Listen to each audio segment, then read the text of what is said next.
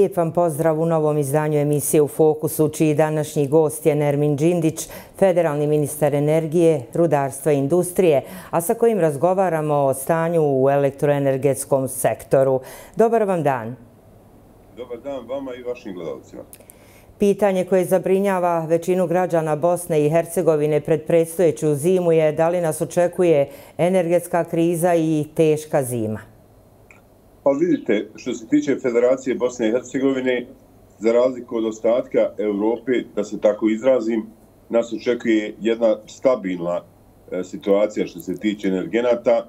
E, ono što bih ja napomenuo u ovom trenutku, da na neke stvari, nažalost, ne možemo uticati, a ne možemo uticati na stvari koje e, mi ne proizvodimo i na stvari koje, nažalost, nisu pod našom kontrolom. E, primjer ću navesti plin. Dakle, mi plin uvozimo, direktno smo zavisni od jednog izvora snadjevanja i tu ne možemo napraviti neke velike iskorake. E, ono što smo učinili jeste, obezvijedili smo da ćemo imati dovoljnu količinu plina u svakom trenutku, što je u poređenju sa regijom sigurno možda i, i da tako kažem, za pohvaliti. Što se tiče uglja, energije, nafte i goriva, imamo u dovoljnim količinama da obezbijedimo sigurno i stabilno funkcionisanje elektroenergetskog sistema. E, zalihe nemamo u onim količinama koje bi trebale biti na našim depojima, ali imamo e, dovoljan priliv količine uglja da ne ugrozimo sigurno i stabilno funkcionisanje naših termoblokova. Ono što zanima građane, a još više poslodavce, je da li će doći do poskupljenja električne energije? Što se tiče cijene električne energije, dakle, ona je po, zakon, po korekciji zakona o električnoj energiji federacije, korekcijom, dakle, člana 16a, definisana za tržišni model snadjevanja, to je za veliku privredu, doći do povećanja cijene električne energije plus 20%, onako je kako je definisao zakon. Što se tiče e, ostalog snadjevanja e, domaćinstava, e, kako smo rekli, ne bi trebalo do nove godine da se izvrši korekcija cijene, iako imamo e, dosta elemenata koji u ovom trenutku govore da bi ta cijena e, trebala ići prema gore. Da, svakako, zbog poskupljenja i nestašice uglja i drva, drva sve veći broj građana se okreće grijanju na struju. Rekli ste da bi povećana potrošnja u tom slučaju mogla dovesti do poskupljenja električne energije. Dakle, problem, problem je povećana potrošnja električne energije u zimskim, dakle, E, E, vremenima kad je otežano snadjevanje elektroenergetskih postrojenja sa, sa ugljem, ako dođe do ekstremno povećane potrošnje električne energije u tom periodu, moglo bi se napraviti problem. Zato smo mi apelirali dakle, da svi oni koji mogu da se griju na alternativnu odnosu na električnu energiju, da u ovom trenutku to koriste, a mi ćemo se potruditi da naš sistem ostane siguran i stabilan. E, došlo je do određenih zahtjeva vezano za korekciju cijena, razgovarali smo i na tu temu. Dakle, e, ima razni modaliteta, modaliteta da se e, električna, cijena električne energije ne mijenja za e, one korisnike koji po, prosječno potrošnju imaju u odnosu, koji imaju prosječnu potrošnju, dakle, koji neće trošiti u odnosu na prosječnu potrošnju, a da dođe do korekcije, dakle, oni nivoa koji troše iznad prosjeka. E, još uvijek ti modeli su u fazi razrade i ne bi sad da brinem građane dodatno da li će biti ili neće, prije da neće nego da hoće. Naš razgovor pratili su inserti termoblokova u termoelektrani Tuzla. Naravno, sve nas najviše zanima u kojoj je trenutno fazi izgradnja bloka 7 termoelektrane Tuzla. Što se tiče bloka 7 Tuzla, dakle, e, vlada federacije jednim zaključom zadužila elektroprivredu da iznajem jednu međunarodnu kuću koja će pravnu kuću sa, sa, pra, sa timom pravnih eksperata koji će e, izanalizirati kompletan slučaj i predložiti određena rješenja obzirom da imamo e, povlačenje jednog od najvećih e, pod kontraktora, dakle General Electrica iz ugovora. E, taj pravni tim je izabran, e, on je uradio detaljnu analizu i upoznao upravu i nadzorni odbor elektroprivrede i uprava i nadzorni odbor elektroprivrede su proslijedili informaciju prema resornom ministarstvu, resornom ministarstvu prema parlamentu. Ta informacija e, je sljedeća, dakle, da nije, da od strane pravno-ekspertnog tima e, je da nije prihvatljiva, dakle, upotreba alternativnih dobavljača, jer alternativni dobavljači sa alternativnim komponentama e, ima, ima određeni suprotnosti u odnosu na temeljni ili osnovni ugovor. E, tu informaciju smo mi uputili prema parlamentu, vlada je usvojila tu informaciju kao i nadzorni odbor uprava elektroprivrede i mi očekujemo dakle, da će parlament vrlo brzo zakazati sjednicu gdje ćemo zajedno raspravljati o toj možda i najbitnijoj temi kad govorimo o termoblokovima u ovom trenutku u regionu da umeđu vremenu se traže zamjenska rješenja, zima je na Pragu, a evo javno preduzeće elektroprivreda Bosne i Hercegovine i Evropska banka za obnovu i razvoj su nedavno potpisale mandatno pismo za projekt konverzije bloka 3 termoelektrane Tuzla na ugalj u kombinovano toplotno i energetsko postrojenje na bazi drvne biomase. Mandatnim pismom potvrđuje se zainteresovanost Evropske banke za obnovu i razvoj da razmotri učešće u projektu konverzije ovog bloka koji prestaje s pogonom na ugalj do kraja naredne godine. Predlažem da zajedno poslušamo prilog. Evropska banka za obnovu i razvoj je pismom potvrdila zainteresovanost da razmotri učešće u projektu konverzije bloka 3, koji trenutno kao energent za proizvodnju koristi ugalj u kombinovano toplotno i energetsko postrojenje na bazi drvne biomase. Učešće EBRD-a bilo bi kroz osiguranje dugoročnog finansiranja u obliku korporativnog kredita u iznosu do 50 miliona eura, a što će zavisiti od rezultata daljnje procjene projekta. Direktor elektroprivrede Bosne i Hercegovine Admir Andelija istakao je da se radi o najstarijem bloku jačine 100 MW, dodajući da je ovo preduzeće opredjeljeno da regiju Tuzanskog kantona u narednom dugoročnom periodu obskrbe toplotnom energijom iz energenta koji je ekološki prihvatljiv. Ova aktivnost ima otprilike otprilike tri dijela. To je ona jedan socijalni dio, znači da mi ćemo tamo nastaviti proizvodnju električne energije, električne energije i imat ćemo mogućnost da zadržimo neki 80 radnih mjesta. Ekološki efekat naravno je jasan konverzijom ovoga bloka u u, na gorivo, na biomasu, potpuno se usklađujemo sa važećim evropskim direktivama kada je u pitanju emisija stakleničkih plinova i naravno na ekonomski efekat, a to je nastavak proizvodnje električne energije i prihoda po ovu kompaniju. Direktorica kancelarije EBRDA u Bosni i Hercegovini ističe da ova banka trenutno pruža podršku elektroprivredi Bosne i Hercegovine, koja će utvrditi održivost i dugotrajnost svih aktivnosti.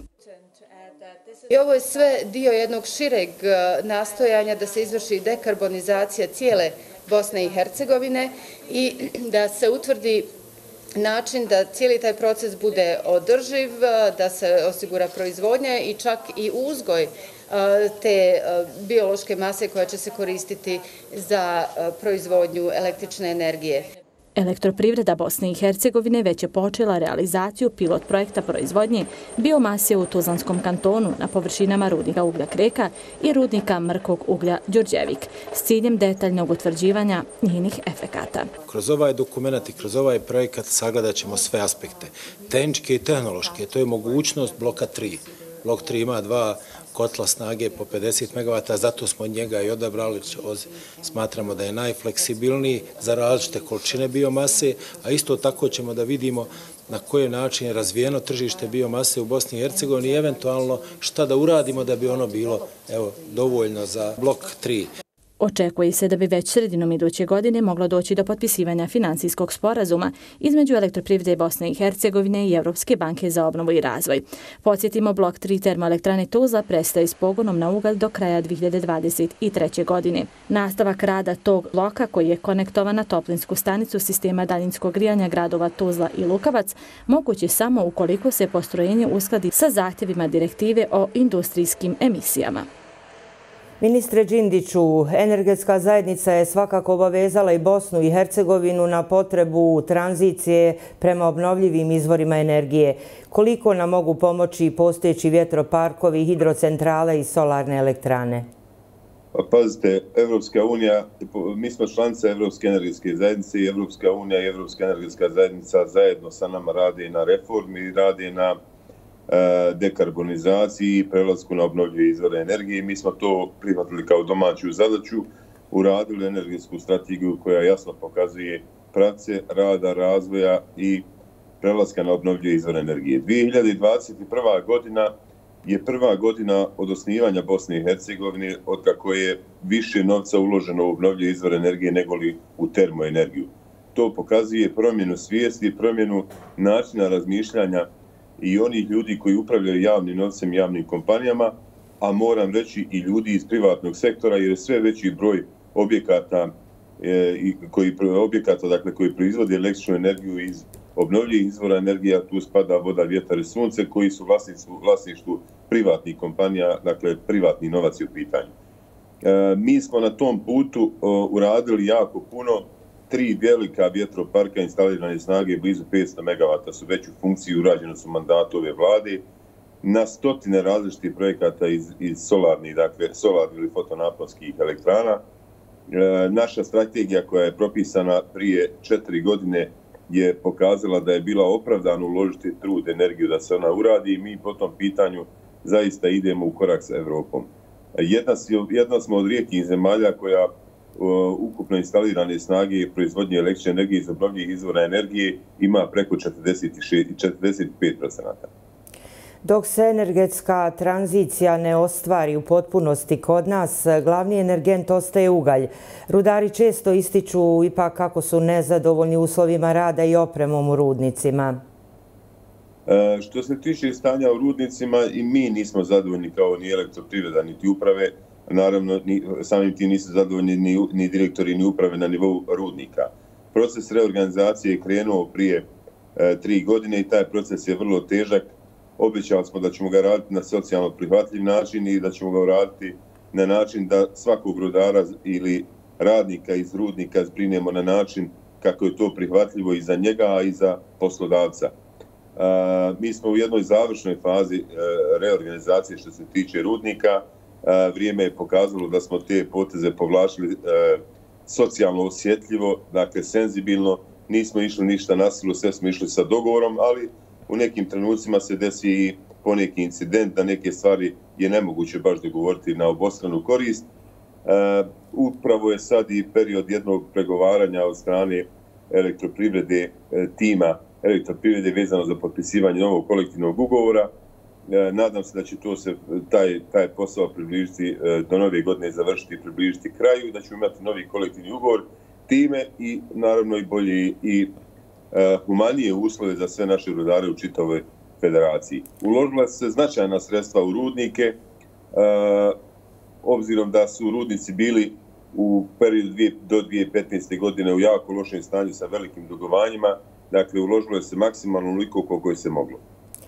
Evo, predlažem da sada pogledamo prilog koji upravo govori o tome da je vlada federacije naložila formiranje tima za kolektivno pregovaranje u djelatnosti rudarstva i zadužila elektroprivredu naše zemlje da zajedno s upravom rudnika Mrkog Uglja Banovići u roku od tri dana od donošenja zaključka formira tim kojim će predsjedavati predstavnike elektroprivrede.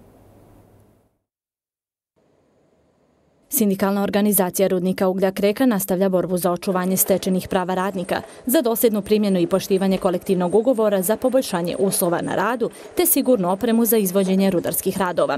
Intenzivirani su i napori za novi granski kolektivni ugovor. Imali smo ovakav ingronatski odnos vlade i međutim našim aktivnostima kao jedan jako ozbiljan socijalni partner Htjeli smo vladu upozoriti da ne dolazimo u situaciju kada je energetska situacija ovakva kakva jest, da ne proizvodimo bez potrebe obustave ili bilo kakve radnje koje su neminovne kad je u pitanju sindikat rudara zato što rudar mora znat i rudar zna da neće ostati bez prava koja su mu obezbijeđena i koja se obezbijeđuju goranskim kolektivnim ugovorom. I evo drago nam je da je jučerašnjim zaključkom vlade naloženo javno prezveće elektroprivreda Bosne i Hercegovine da sa upravom Rudnika Banović koji je mimo koncerna oformi tim i da konačno počnu pregovor. Kako ističe Tokić, cijevi su već precizirani, platni razredi su usaglašeni i moraju biti sastavni dio granskog kolektivnog ugovora. Drugo je visina satnice koju ćemo evo pričati. Treća stvar je naknada na ime toplog obrka se povećava u skladu sa onim što već imaju radnici javnog prezeća elektroprivreda Bosne i Hercegovine. I moramo dodati još jednu e, sitnicu, a koja je vrlo bitna. Živimo u vremenu u kojem inflacija, vidite, guta sve. U granskom kolektivnom ugovoru mora biti odredba da u slučaju troškova većih e, životnih namirnica i svega ostalog rastu, moramo prilagoditi i tu satnicu, jer mi ćemo sad potpisati kolektivni ugovor na dvije godine. Tokić naglašava da se svaki put prilikom pregovaranja i potpisivanja kolektivnog ugovora vodilo računa o tome da se postignu bolji uslovi za rudare. Drago nam je, ponavljam, što nećemo biti prinuđeni da dođemo u situaciju da moramo e, drugim sredstvima obezbijediti ovo što ćemo, evo, za pregovaračkim stolom, ali isto tako rudari znaju i ubijeđeni su i vjeruju u sindikalno rukovodstvo da mi ne znamo napraviti nešto što nije zadovoljavajuće za rudare, ali isto tako vodeći računa da kompletan energetski sistem ne dođe u pitanje i da svi možemo prebroditi ovu zimu koja će biti po svim prilikama jako, jako teška. U tim za pregovaranje za novi kolektivni ugovor će biti uključeni predstavnici uprava rudnika i sastava koncerna elektroprivrede, Ureda premijera Federacije Bosne i Hercegovine, Federalnog ministarstva energije, rudarstva i industrije i Federalnog ministarstva rada i socijalne politike. Podsjetimo, postojeći kolektivni ugovor za oblast rudarstva u Federaciji Bosne i Hercegovine važi do 31. decembra ove godine. Ministre Đindiću, tokom ovog razgovora ste pominjali velika dugovanja rudnika u koncernu. E, da li ste pritome mislili na dugovanja za koncesione naknade? Ja kad govorimo o dugovanjima rudnika, govorimo o ukupnom dugovanju. Dakle, različiti su po različitim rudnicima. E, međutim, e, među tim dugovanjima ulazi i koncesiona naknada. Negdje oko 500 miliona konvertibilnih maraka u ovom trenutku su dugovanja rudnicima po raznim osnovama, bez, bez kamata dakle, na taj iznos. Pitanje za kraj. Kako ocjenjujete domaću namjensku industriju i kakvu joj budućnost prognozirate? Što se tiče namjenske industrije, e, mogu reći da je da će 2022. godina biti najbolja godina što se tiče namjenske industrije promet ćemo, smo povećali skoro na blizu 400 miliona konvertibilnih maraka. Uh, broj zaposlenih također u ovoj godini će se približiti skoro cirke od negdje hiljadu radnika plus, dakle, novo, novo zaposleni. Uh, e, šta je plan u namjenskoj industriji? Plan je da u naredne tri godine poveća se ovaj ukupni promet na jednu milijardu konvertibilnih maraka sa plus jedno hiljadi poradnika dodatno uh, zaposlenih u ovoj branši i prilikom gostovanja Eh, u Tuzlanskom kantonu prije možda jedno 20 dana razgovarao sam sa rukovodstvom eh, vladi eh, Tuzlanskog kantona. Rekli smo, običali smo, razgovarali smo na tu temu da bi trebala jedna kompanija iz namjenske industrije da se oformi na području Tuzlanskog kantona, obzirom da je to, mogu reći, industrijski bazin koji daje najbolje kadrove u ovom trenutku u Bosni i Hercegovini. Treba iskoristiti kadrove, treba iskoristiti poziciju Tuzlanskog kantona, konekcije koje ima prema Hrvatskoj, prema Srbiji, blizina aerodroma i sve druge benefite koji taj kanton ima, dakle da se jedna namjenska industrija formira i postavi i da naravno bude jedna e, uspješna priča zajedno sa ostatkom firmi u namjenskoj industriji. Mislim da je namjenska industrija pokazala u zadnjih e, 7-8 godina da se od jedne industrije koja je bila na rubu egzistencije, na ivici propadanja, zatvaranja, može stvoriti jedna industrijska grana koja je ponos federacije u ovom trenutku. Ovo je prilika da spomenemo jako dobre izvozne rezultate metalske domaće industrije. S obzirom da se baš na području Tuzlanskog kantona nalazi nekoliko takvih subjekata od firme Unistok, tvornice transportnih uređaja Tuzla i tako dalje. E, čitava metalna industrija u Federaciji Bosne i Hercegovine je na usponu i hvala Bogu da je tako. E, recesija koja se dogodila u čitavoj Evropi, e, da se tako izrazim, je pomogla da e, naše firme u federaciji u čitavoj Bosni i Hercegovini povećaju intenzitet svog rada i djelovanja. Dobro se sjećate, spomenuli ste dvije firme, Unistok privatnu firmu iz Kalesije, koja je u jednoj kovarstva i mašinska obrada ležajeva. Ja sam slučajno bio i spojni saradnik u prijedhodnom nekom periodu za tu kompaniju, uspješna kompanija koja izvozi sve svoje 100% proizvode u Evropsku uniju druga je TTU Tuzla koja je nastala u procesu stečajnog, e, stečajnog postupka, dakle firma je bila u stečajnom trenutka kad smo mi došli, ona je bila, radnici su bili na ulici, e, oprema je bila malte ne uništena, fabrika je bila za, za zatvoriti. Od takve firme koja je bila za otpis, koja je trebala biti zatvorena, uspjeli smo zajedno da napravimo kompaniju koja danas zapošljava e, blizu 200 radnika, koja redovno isplaćuje svoje plate, poreze, doprinose i koja ima godišnji promet blizu 20 miliona konvertibilnih maraka. Još puno je kompanija na Tuzlanskom kantonu koji u metalnoj industriji sigurno su jedni, jedna od najboljih u ovom dijelu Evrope. Nemojmo zaboraviti Cimos Gradačac koji je ogromna kompanija koja radi i izvozi za e, velike brendove putem čitave Evrope, zatim puno kompanija u Gračanci, Srebrniku, Živinicama, Nova industrijska zona i druge, druge, mnoge druge koje su zaista referentne i koje imaju sve certifikate od ISO 9000, 9001, 14001, 18001 i sve druge koje pokazuju da su to ozbiljne evropske i svjetske firme. Ministre Đindiću, hvala vam na vremenu odvojenom za ovo javljanje u našu emisiju Fokus. Hvala i vama i svako dobro vam želim. A sa novom temom sutra smo sa vama u istom terminu. Hvala na pažnji i ostanite u Fokusu.